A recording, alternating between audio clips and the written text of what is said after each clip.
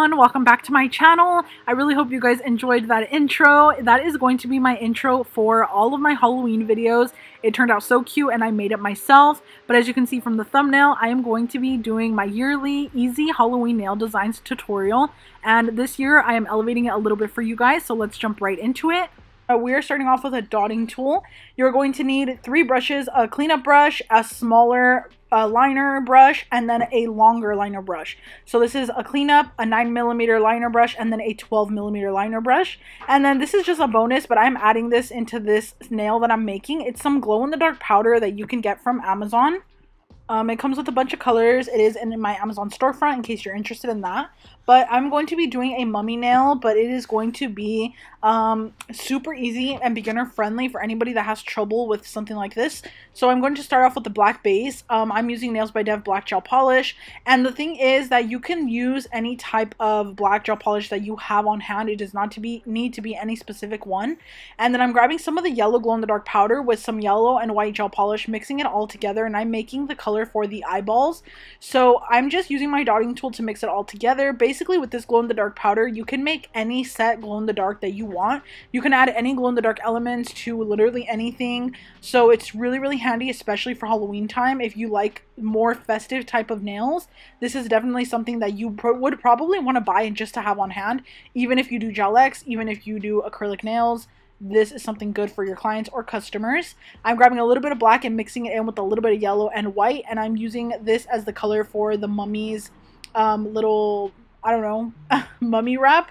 So you're going to go into kind of a bunch of different directions with the long liner brush. You can literally make it as messy as you want. It is so easy and simple to make this look good. It is definitely beginner friendly and easy for people that don't really know how to draw. Um, you don't need to know how to do anything fancy with this. And as you can see, for the eyes, all I did was use the dotting tool. I just used the dotting tool and basically created two circles and they do not need to be perfect circles. They could be oval, they could be circle, they could be any shape you absolutely want. It's still going to look cute.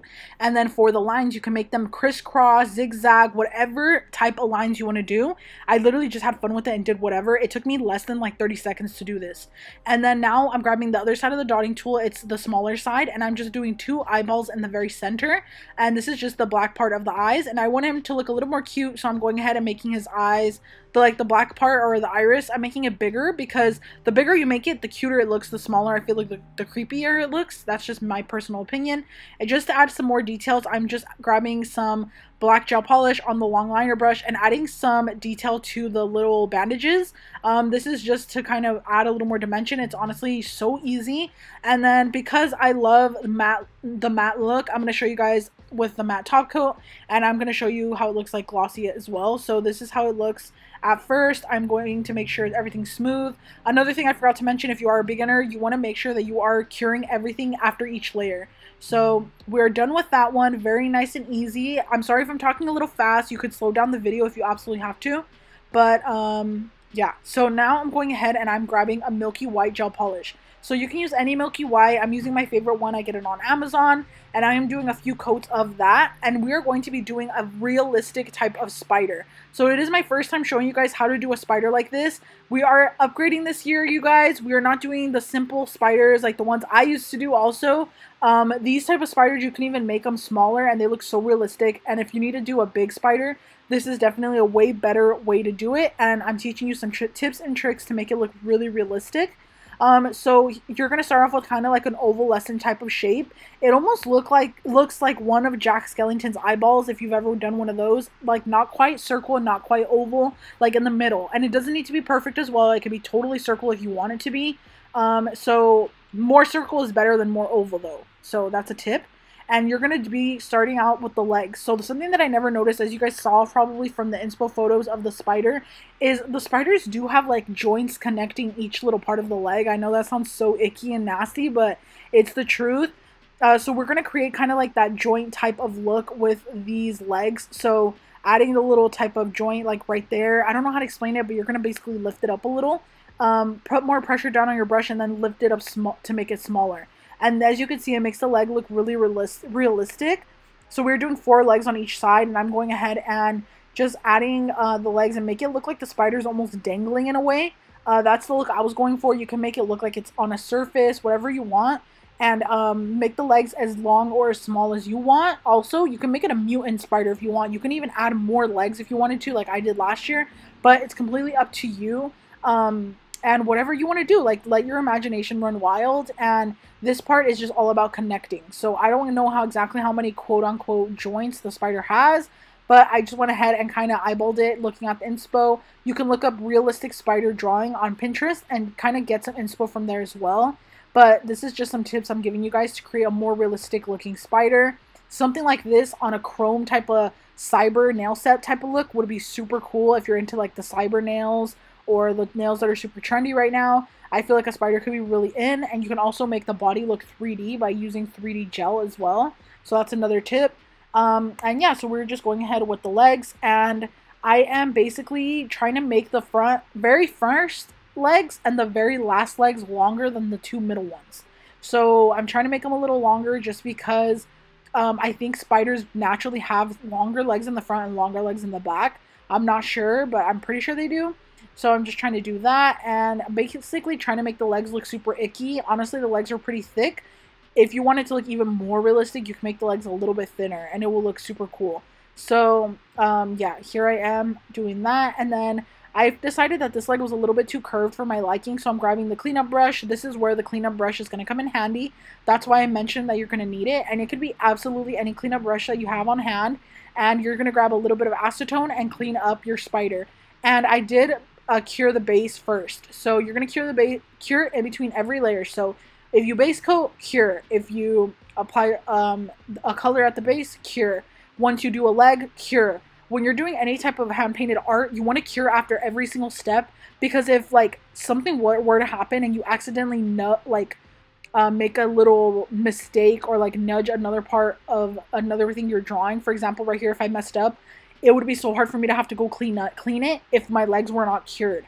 So you want to make sure that you are curing in between each layer. If you're a beginner, just because you might not have the practice yet to be able to just freehand the whole thing without messing up, in case you need to go clean up, like I do, it's perfect for you to cure in between so that you have everything nice and cured and it's stuck in place so you don't mess it up.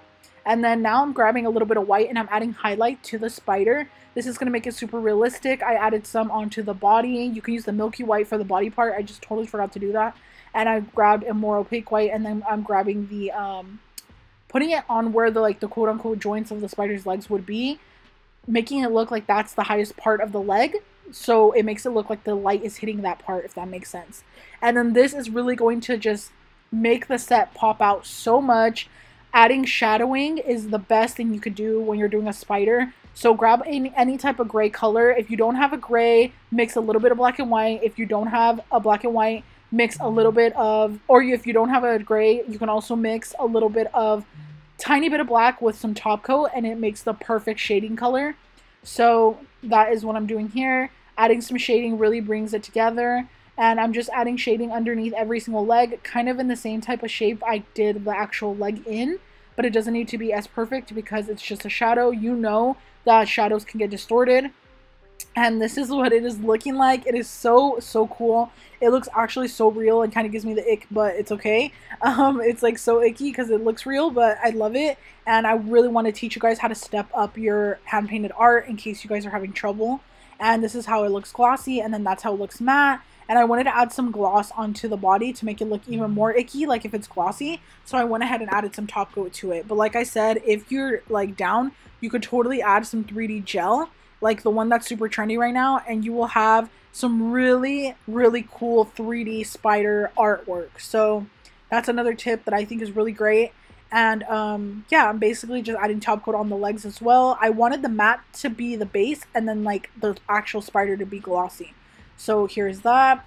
Um, and then now we're going to be moving on to the next nail. And the next nail is going to be some really cute little ghosties. So I did start out by going ahead and painting a orange jelly color. It looks almost red on camera, but in person it's very orange. So it is an orange color and then I'm going ahead and adding some ghosts. So these ghosts are not going to be so, so cute. They're more, a little bit more spookier ones. So I'm going ahead with white gel polish and I'm just going to be making more of an elongated body and basically no arms. So it's not going to look so cute. It's going to look more real, I guess, even though I know this is not real. Like, you know what I mean? Like, Um, not so cartoonish, but so I'm going ahead and adding the body and making it long and adding kind of like a frayed type of ghost bottom type of look. I don't really know how to explain it so good, but this is just going to elevate your ghost a little bit instead of doing the really, really simple ones. I did the simple ones too. I still love them. And for cutesy sets, I love those ones better. But just in case you wanted a, a tutorial on how to do these type, I wanted to make these for you guys. It was my first time making them. Um, so this is kind of like, I actually wanted to talk to you guys about something while my video is just blank because I'm curing the nail right here. Um, I am making a few different versions of this video for you guys this year. I'm going to be doing a beginner and then I'm like a beginner drawing like this one. And then I'm to also do a uh, character version like uh, nail tutorial characters for beginners. And then I'm also going to be doing a 3D Halloween tutorial for beginners. So a bunch of 3D art so things like that, and I'm excited. So stay tuned for that. If you guys like these type of Halloween videos, I have more coming, and also for fall as well. I did not forget about everyone that doesn't like Halloween because I love fall. It is one of my favorite times of year. So I'm also going to be doing videos like these, but fall version instead. Um, and I'm sorry if you guys think it's a little early for these for the Halloween video, but I felt like I had to get it out early this year because I just feel like everybody's already doing Halloween nails. So yeah, I'm sorry for rambling, but basically right there what I did is I added a little long mouth and I don't know why I went back to cover it up. I actually love the way it looks. It looks kind of more spooky, but I did cover it because I felt like I did not like it. Um, and I don't know why I did that, like honestly. So I wanted to leave in my errors also just to show you guys that nobody's perfect. Like you guys might compare yourself to my art uh, uh like occasionally or somebody else's and you can't compare because everybody struggles one way or another. Like right here, I did not know what direction I wanted to go in because I was getting inspo from like these creepy ghosts on Pinterest, and I didn't like the way that um I was making it. Like I felt like I couldn't make it look exactly like that because the picture was really blurry. So I just went ahead and added some long droopy eyes that looked kind of scary and then a little mouth and I really liked the, this look a little bit better. So yeah, but it still looked cute the other way also. So this is kind of showing you guys also two ways that you can do it if you want to make the eyes small and the mouth long, or if you want to make the eyes long and the mouth small, if that makes sense. So that's what I did there, and I was curing in between each layer. And then I wanted to add something in the background. I felt like it looked a little bit simple, so I wanted to go in with some like fog or clouds looking type, like fog or cloud looking vibe.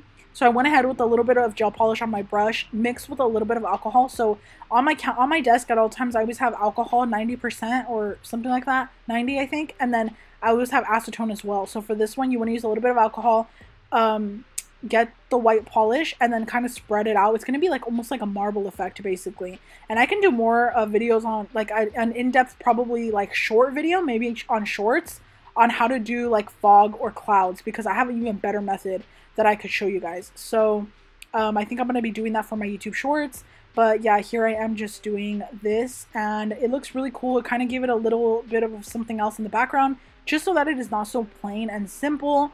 So yeah, if you guys want more tutorials with even more simpler designs, because these are simple, but I know that I can make even more simpler ones. So if you guys want simpler designs, like how to draw a simple uh, creepy tree or like a simple creepy bat, like things like that, uh, let me know and I could definitely do that for you guys.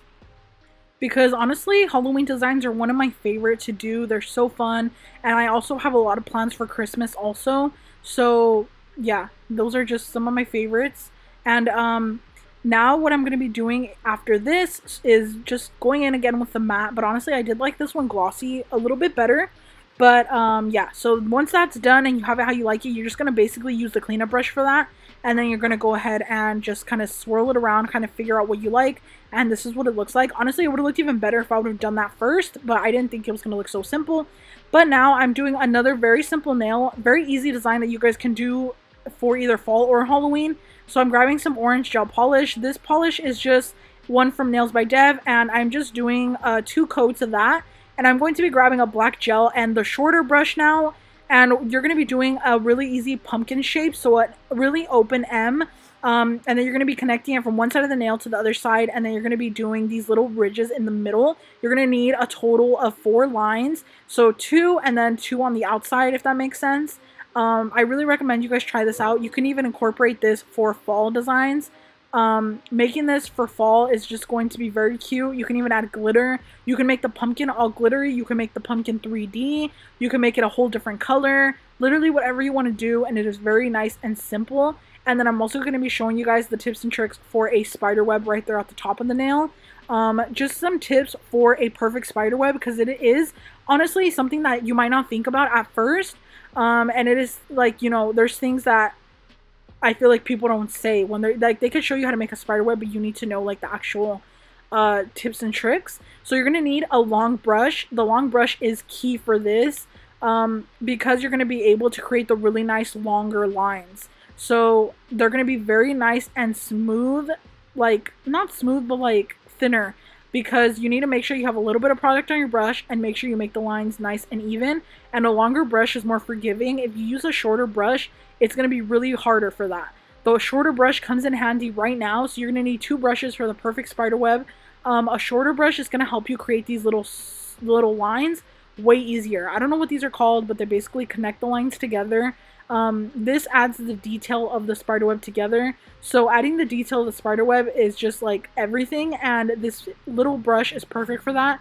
This specific brush, in case you guys are interested, is the Nails by Dev 9mm, and I'm going ahead and just adding the lines, and yeah, the little brush helps you have more control for this part of the spider web. The long brush is definitely what you need for the longer lines, because it's just going to make it better, and I added a few extra ones, and this is what it's looking like, and then I also added some highlight to the pumpkin to really tie it all in together. This is going to help your pumpkin stand out no matter what color you make it. Add some white highlights, and it just really brings it all together. And yeah, you guys, that's it for this video. I decided to put the nails on for you guys so you guys could see what they look like. They are such cool accent nails. I really hope you guys are able to incorporate this into your Halloween sets this year. And let me know down below if you guys are excited for the next video because the next one is going to be a good one. So yeah, um, that's it for this one. And I really hope you guys liked it. Please subscribe to my channel if you haven't already. And I will see you in my next one. Bye!